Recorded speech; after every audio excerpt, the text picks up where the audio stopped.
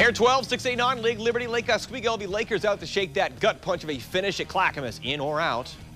Jackson Lorenz Club up 14 0 Anchors up, downfield they go. So money, Joe Hudson inside the 10. Soon after, number nine, Casey Filthy Filkins, one of the best backs in the state. Touchdown below Air 12. Lake Show back into the win column 45 13. Air 12, 5A country, HRV LSP, Hood River Valley, LaSalle Prep, both riding win streaks in the Eastern District 1.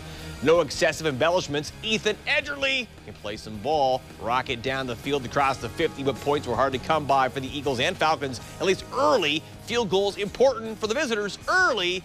Chopper left, the playbook's opened up. Falcons soar in a big way, 36-16.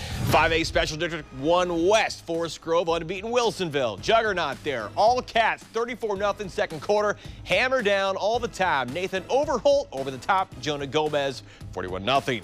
You can't play skunk games, though, without sniffing out some defense. Kevin Burke playing center field. Burke had a three-pick night. Then they go quick. Overholt, Gomez, good to go. Man, is Gomez is going to go go-go gadget arm, little stretch Armstrong right over the goal line, get in just enough, all said and done, 48-0. We'll be live at the big game next Friday, Wilsonville at Scappoose. Get pumped! Old pals in the TRL, West Linn, Sherwood in separate conferences now. Sherwood in the Pacific.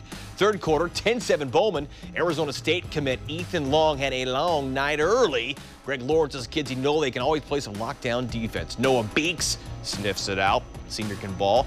That pick led to a three. Get yourselves a kicker. Caden Steindorf, pop-up perfection. Junior makes it 13-7 Sherwood. That defense just stifling. Jacob Bruder, what an effort here. Makes the pick, but in the end, my goodness, West Linn on the party bus back home. 26-20 winners for the Lions. Grizzly Gang, Air 12 McMinnville, 6A non-league, Centennial and the Grizz. Third quarter, 34-13 MHS. Elmer Eagle Klein back. Nice blocking. Little pitch here to Nick Garcia. Nick just kind of know how to do things with the ball there. First down on the ground. Then to the air for the fun stuff. Devin Fitzgerald, maybe some kind of relationship here with uh, Larry Fitzgerald. Hall of Fame hands. That's a touchdown for Centennial. But it's McMinnville with the winner dinner, 41 27.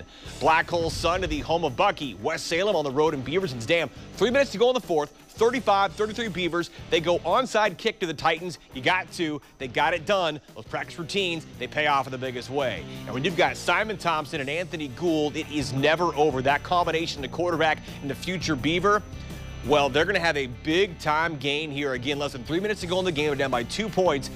Gould going to put them nearly into the 20, but Join flag puts them back. That's a big problem because they'd have to give over on downs to get the ball back one more time for one last heave, but doesn't happen. No prayers answered. Victory for Beaverton at home, 35-33.